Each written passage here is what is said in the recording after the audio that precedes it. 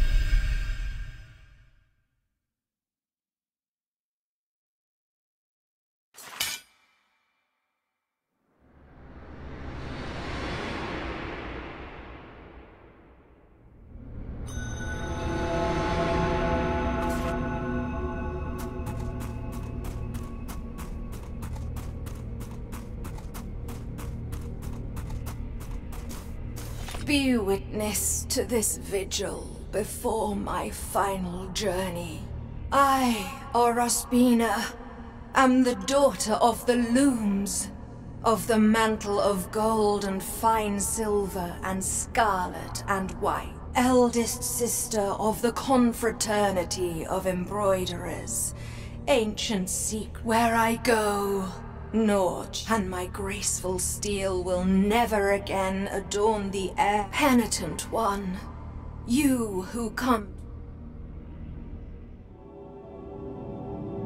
Mas aquel ruego fue tan humilde y verdadero que el milagro, cuyas elevadas razones escapan siempre a nuestro entendimiento, despertó. Despertó allá donde quiera que se mantuviese dormido y, conmovido por la dulce melodía de tan nobles súplicas, bendijo a esta pareja de fieles devotos, otorgándoles su deseado hijo.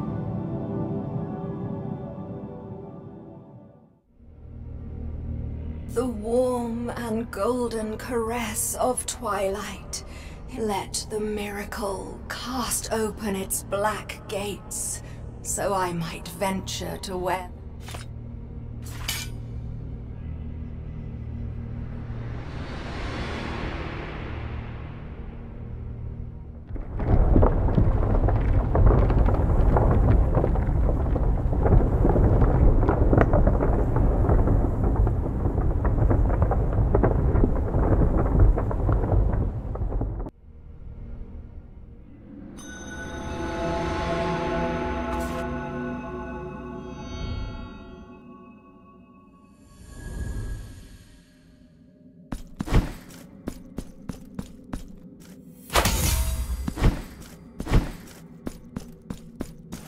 Penitent one, you have known the second of the regrets, and with the figure of the mother has descended, full of mercy. Anon, the upper part of the city, separated from the rest by the miracle's design, find the last guardian.